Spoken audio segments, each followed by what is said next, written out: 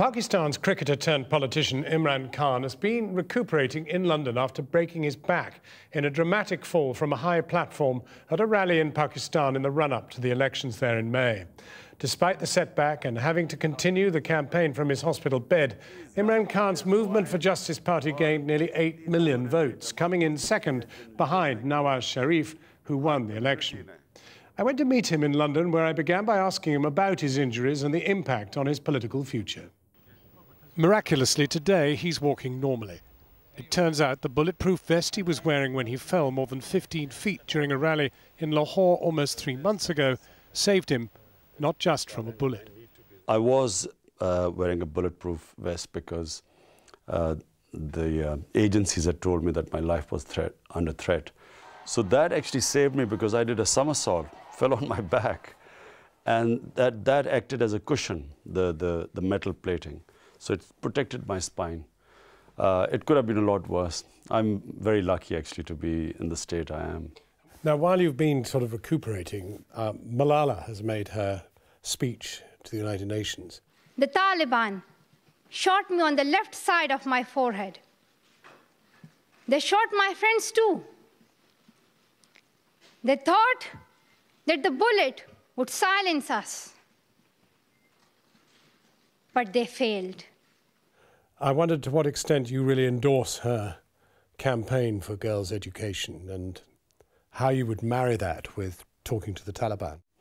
Well, number one, I mean, uh, you know, everyone in Pakistan agrees with uh, her campaign. Everyone, Not her campaign. Everyone? I, am talking about, you know, 98% of the population would want women to be educated.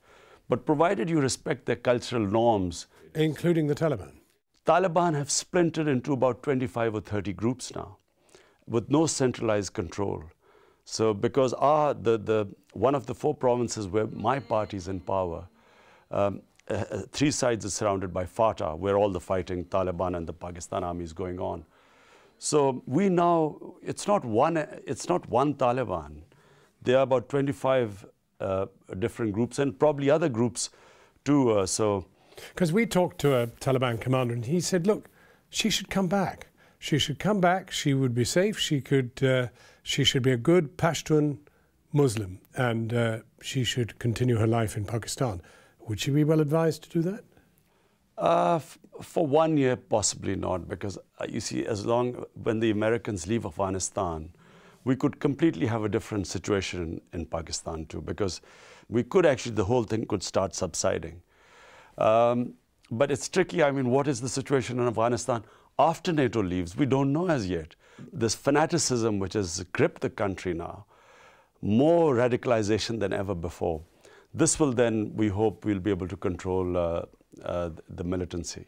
Who do you blame for the radicalization? Saudi Arabia?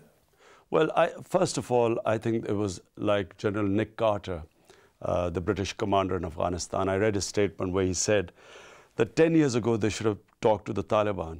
I think initially if, if Al-Qaeda and Taliban were separated, because Taliban Pashtuns, they had no capability of attacking Western targets. It was Al-Qaeda. So that effort wasn't made. And, and then when the Taliban were toppled, they were weak, that was the time to hold political uh, uh, talks with them and, and sort of separate them from Al-Qaeda. Uh, and, and he quite rightly says, and I believe that's what should have been done, that that opportunity was lost. And now that the Taliban know that NATO is leaving next year, I mean, they are talking from a position of strength. How do you talk to them then? Who do you talk to? In Pakistan, we don't know, you know, who these groups are now, because it started off with the TTP about uh, five, five years back. And now in every tribal agency, seven of them, there, there is now a, a, Taliban group, and they've splintered further. Um, and a lot of criminals, young people, unemployed, they've become Taliban. You know, you, you don't need any qualification to become Taliban. You can just um, uh, one day uh, make a group and call yourself Taliban. So we really need, I mean, Pakistan's number one issue now is to deal with uh, uh, terrorism. But terrorism is generated by several different forces. One, of course, is the continuing spillover of the war into Pakistan, the drone attacks. What would you do about the drone attacks? You see, what the drones do is that they link Pakistan with the US war. Once Pakistan is considered a collaborator of the US, then the Taliban's narrative of jihad against the Pakistan army and security forces and the police, then the, they can call for jihad. Jihad means suicide attacks, suicide, suicide attacks because it's martyrdom. So to take the motivation away from the from the suicide attacker, it's imperative that Pakistan disengages from the US war. In the latest figures I've seen, which admittedly only go up to uh, 2009 or so, talk about 94 children being killed in drone attacks. But uh, drone attacks, it's the most inhuman thing uh, any, uh, any civilized country could think of. Well, are you surprised that there isn't more protest in the West against them? Uh, because in the West, people don't understand anything about drone attacks. They are given wrong figures. Uh, the Peshawar High Court asked the political agent in Waziristan to give the figures of civilians killed in drone attacks. This is about uh, two months back, two and a half months back.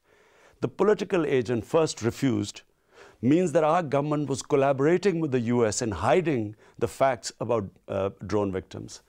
And then when the judge forced him he, he next day he came and gave the figures that in the last five years, 1,500 civilians had died, in which there were women and children.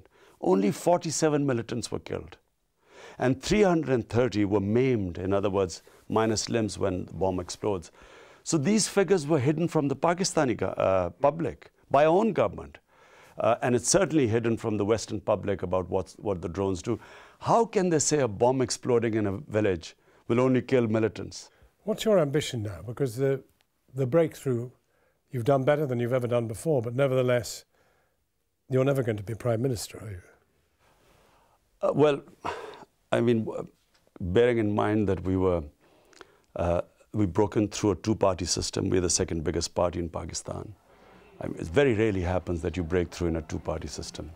First time, uh, you know, a party went out of its way to give tickets to young people. 35% were below the age of 40. It's never happened before. And in 123 seats came second. So uh, and at 140 you form government. So I think so the breakthrough is around the corner. So I think we are sitting uh, in a very good position right now. How much of a setback has your accident happened? It was a huge setback because you know the the, the campaign was going to, towards its peak. I mean, we had Never had uh, we seen such scenes in Pakistan. Young voters coming out for the first time, youth getting politicized, women. Never have you seen them in such numbers coming out to vote. So it was reaching its peak, and the last two days were going to be the peak of the campaign, and so it was unfortunate.